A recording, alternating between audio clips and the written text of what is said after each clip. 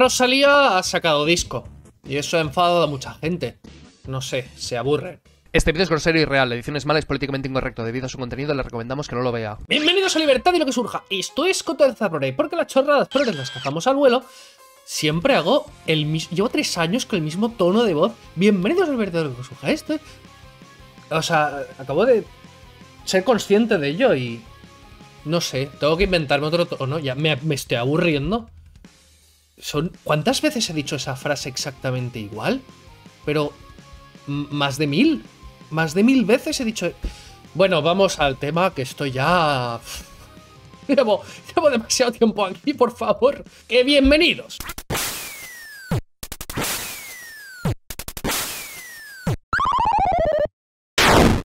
Y Rosalía, pues eso, ha sacado disco a Motomami. No, no, no tengo no he escuchado nada nunca.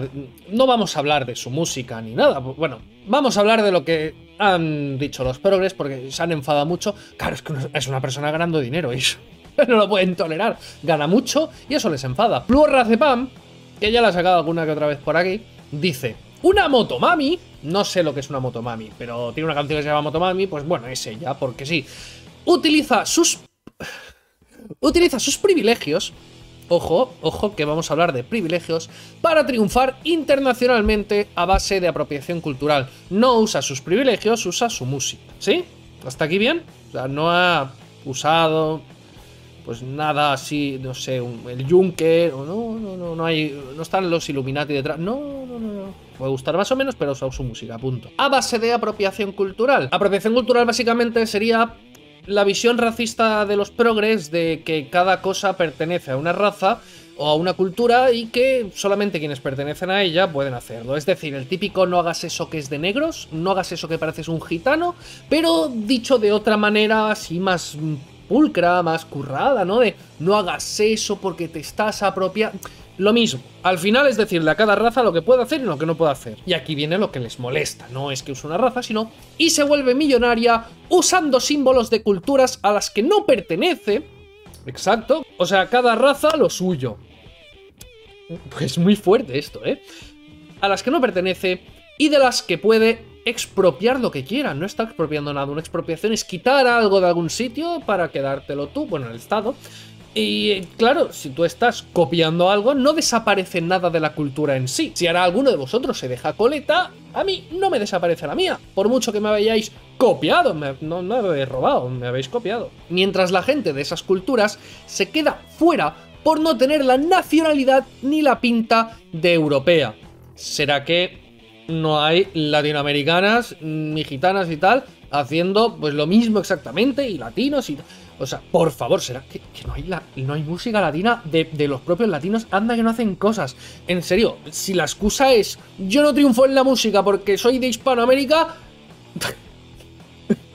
perdona pero no eh no esto no va así. O sea y más con YouTube y todo el tema este ¿sabes? además y cuanto más se acostumbre el oído y la vista a lo que la gente no está acostumbrada, porque imaginemos que, que es que no triunfas desde Hispanoamérica porque la gente no está acostumbrada al acento latino. O, no triunfas por gitana porque la gente...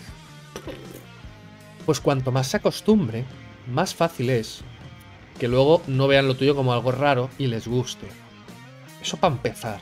Y la tipa Flor Rezapam esta comenta, me da igual que os guste Rosalía, no voy a discutir ese tema, no me interesa escuchar discursos defendiéndola porque a mí, si buena o no, me da igual, vale. Bien. Lo que no me da igual es que le den premios por artista latina, siendo más colonizer que Magallanes. Música latina, pues es hispana, es, o sea, de los latinos, habla lati los latinos, o sea, ¿sabes? Lo de los romanos que hablaban latín y todo eso. Pues va por ahí, ¿vale? O sea, sí. Que digas que una persona que canta en vasco, pues que no te gusta que... Pero en una lengua latina... Y que de repente todo el mundo le dé igual porque reina. Le da igual porque no es racista la mayoría de gente. Chiquis, si condenamos ciertas cosas, las condenamos siempre, no solo cuando no tienen estética robada, atractiva, ni un buen equipo de marketing, no ha robado absolutamente nada, no impide nada a nadie, ni le ha quitado nada, ni le ha sustraído nada a nadie. Y es que me hace gracia esta mentalidad de, es que nos ha robado la cultura, nos ha robado la música. Tú has inventado esa música, Mira, te voy a decir una cosa. ¿Sabías que actualmente ningún músico de rock and roll ha inventado el rock and roll? Y aún así, aunque tú inventes algo y los demás usen tu música, tampoco te están robando nada, ¿eh? Es más, te voy a decir una cosa muy loca. ¿Sabías que ningún músico de la actualidad ha inventado ninguna nota? Que todos los que usan do, re, mi, fa, sol, pues que están apropiándose de las notas y de la cultura de un tío que hizo no sé qué en su momento, es que esto es absurdo. Estamos hablando de que la apropiación cultural no es nada de robo a ningún tipo de cultura, es la imitación de lo que hizo un tío hace no sé cuánto tiempo, que ni siquiera eres tú, por mucho que tu apariencia física coincida más con esa persona o que tus descendientes no sé, aunque sea tu propio tatarabuelo, no te lo has inventado tú, lo ha inventado esa persona que no eres tú. O sea, tú, si eres gitano, no has inventado el flamenco. Lo inventó, pues, la persona que lo, que lo, inventó en su momento. Me da absolutamente igual. Y esto no afecta en absolutamente nada a lo que estoy diciendo. Lo inventó un tío, o una tía, o un tíe, o un alien, o un perrete, no lo sé. Pero no fuiste tú. Entonces, tanto si lo cantas tú como gitano, como si lo canta un negro, como si lo canto yo. Bueno, yo no, porque yo no debería cantar. No, no. Como si lo canta mi gato. Están apropiándose de lo mismo, porque no fueron ellos los inventores de, aquello, pero sí que son los inventores de su propia canción y ya está. Bueno, no lo sé, igual escriben las cosas y ya solamente interpretan. No tengo ni idea, me da absolutamente igual, pero es que es ridículo lo de pensar que te estás apropiando de algo, de una cultura, de no sé qué, cuando eh, tú también la has imitado, tú también te has apropiado de tus antecesores, o, o, igual ni siquiera tus padres hacían eso y tú vas muy de, hoy voy a imitar la cultura de mis ancestros porque no sé qué. Uh, me tengo que depilar, me tengo que afeitar esto, por favor, parezco feminista. Que, que no, o sea, simplemente por moda, por esta moda tribal actual, de vamos a mirar cada uno lo lo que pasó en nuestra raza hace muchos siglos para reivindicar, eh, te estás apropiando igual. O sea, te estás apropiando lo mismo de lo que hicieron tus antecesores, lo siento muchísimo. Hay que ver cómo divago en este vídeo. ¿Será que no tiene sentido lo de la apropiación cultural y es ridículo y ni siquiera capta mi atención completa? Por lo visto, pues una gitana, Gypsy Code, pues se ha quejado también de esto. ¿Por qué contra ti, Rosalía? Y la ponen ahí, pues vos será ella, no lo sé. Con dinero, es que gana, gana dinero. Eso es muy, muy, muy, muy de derechas y muy facha. Cuando los racializados, racializados, como si el ser blanco no fuese una raza, eso es ridículo, pero bueno. Entramos en controversia con la etnia mayoritaria. Ojo que decir blanco también es ofensivo, porque los gitanos también son blancos y serían tal, y. Tienen de todas, ¿eh? Los progres que desde su punto de vista eurocéntrico no pueden ver cuál es el problema. Es que no hay ningún problema, no es que no podamos verlo, lo entendemos perfectamente, sabemos, bueno, por lo menos los que estamos aquí, ¿no? Pero, pero nos parece ridículo. Que a la gente le parezca ridículo lo que tú piensas no significa necesariamente que no lo entienda, puede ser. Pero en este caso, ¿qué tan simple de entender que no es una clase de física cuántica, no es poner una teoría económica de cero de no, es que te a poner el marxismo y nunca en tu vida has hablado de él o el anarcocapitalismo, tal. No es algo así. Es, es, es apropiación cultural. Eh, hacen cosas. Eh, lo típico de tú en el cole dibujabas de pequeño una cosa y, y luego otra persona le gustaba y dibujaba lo mismo y decía, ¡ay, señor! Me ha copiado el dibujo solo que con la diferencia de que ni siquiera has dibujado tú eso, que fue a lo mejor un tatarabuelo tuyo, o igual ni familiar ni nada. ¿eh? Apropiación cultural gitana. En Di mi nombre canta el Jelly Jelly. Eso lo cantamos en nuestras bodas tradicionales, por lo que hemos sido expuestos a la ignominia pública y que al señalarlo ella se excusó diciendo no digo Jelly, digo Yali, emulando a la repompa de Málaga eh, sinceramente, si Rosalía ha dicho no digo Jelly, digo Yali, porque, porque han criticado esto, es que me parece ridículo. Es un sí, digo esto. ¿Y qué? Que puede ser que haya dicho eso porque no lo dice y dice otra cosa. Pero bueno. Dice aquí falló estrepitosamente. La repompa es gitana. ¿Y? Y cantando Yali estaba haciendo uso de nuestra tradición. ¿Y qué? Y además, ¿por qué tuya? Y ojo, que es que me alucina. Fijaos en esto. Estos coinciden con los mismos o sea, son los mismos, que dicen que hay que deconstruir los géneros. Que no hay cosas de hombres y de mujeres, que eso es algo, una construcción social impuesta. Pero sí que hay cosas de gitanos, sí que hay cosas de negros, sí que hay cosas de blancos, o sea, de hombres y mujeres no. De gitanos sí. Tiene unos cromosomas diferentes, una biología diferente por lo visto. Eso me parece muy racista. Eso me parece un poco... Los roles de género tradicionales son una imposición anticuada, conservadora, que no sé... Eso sí, lo anticuado y conservador de las culturas y las razas, eso hay que mantenerlo, menos la cultura occidental, que esa, esa hay que cambiarla. Cultura, no, los blancos, no, no, no, no. La islámica, la musulmana y tal, sí, porque es muy feminista, y... pero la blanca no. Hombre, la, la, cultura que ha hecho prosperar más a, las sociedades que la tienen y todo eso, esa no. La cultura que más libertad individual ha dado que más... No. No, no, no, no, no, ¿eh? No, ni se te ocurra conservar eso. Esa, esa no. Dijo, el flamenco no es gitano, ¿no? El flamenco es de quien lo escuche, de quien lo haga y de lo que sea. El flamenco procede de mezclas culturales, entre ellas la gitana, que fueron sus mayores precursores y qué, pero se extendió a todo. Es como decir que el... Pues no es de tíos con coleta. O vale, ¿y qué? Múltiples palos fueron creados por los gitanos y ella con todos sus privilegios niega nuestra autoría. Es que la autora es ella, la autora de la canción que ha hecho ella misma, pues es ella, o quien le haya hecho, me da igual, pues no ha sido tú. O sea, que tú seas gitana no te hace poseedora de absolutamente nada per se.